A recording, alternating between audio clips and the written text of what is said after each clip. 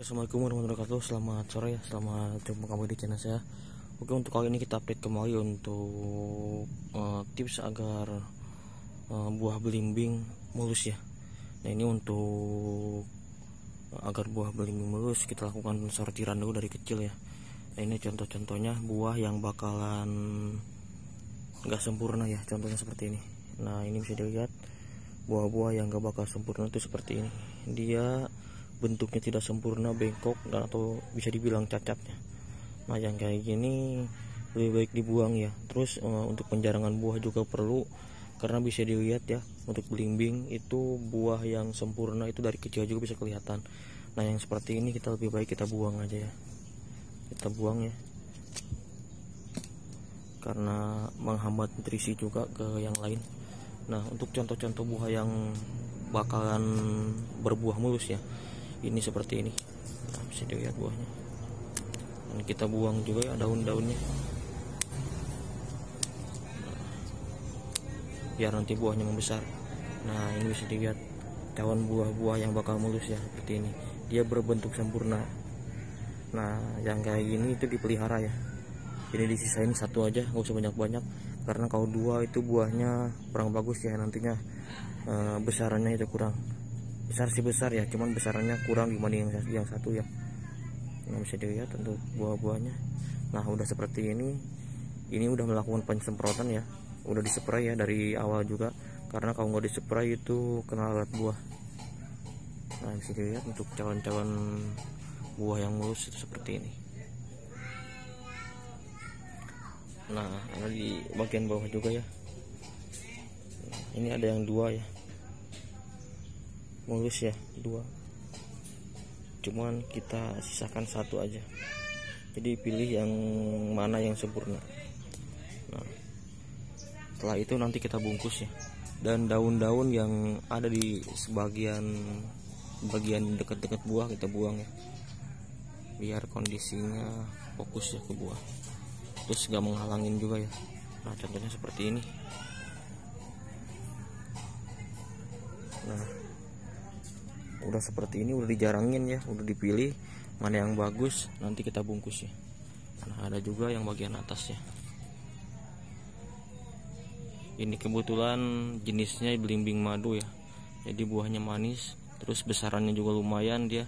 Kalau kita benar-benar dipupuk itu ukurannya besar ya. Bisa nyampe 7 on satu ya. Nah udah kita sisain satu-satu ya. Nah satu-satu. Nah bisa dilihat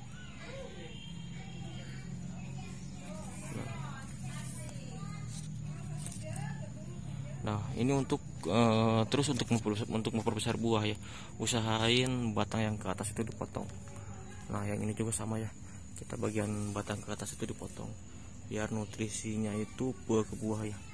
Jadi nggak usah tinggi-tinggi lah. Kalau tinggi-tinggi itu susah ya merawatnya. Mau nyemprot, mau bungkus buah juga susah ya. Dan ini belum dirapikan lagi. Ada tunas-tunas baru yang tumbuh. Oke ya kita lanjut lagi. Nah ini ada contoh buah yang gak sempurna Tapi kita bungkus kita besarin ya. Nah seperti ini dia bengkok ya. Nah ininya bengkok. Nah ini kurang bagus ya. Jadi kalau emang uh, ada yang lebih sempurna Yang cacat itu mendingan dibuang ya.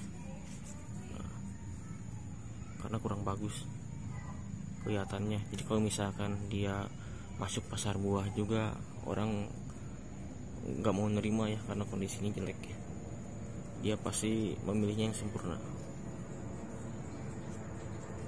Oke nah untuk contoh buah yang satu biji ya yang disortir contoh buahnya seperti ini besar besarannya. Nah bisa dilihat untuk besarannya. Ini belum terlalu matang ya kondisinya. Ini kemarin dibungkus cuma saya buka dulu ya.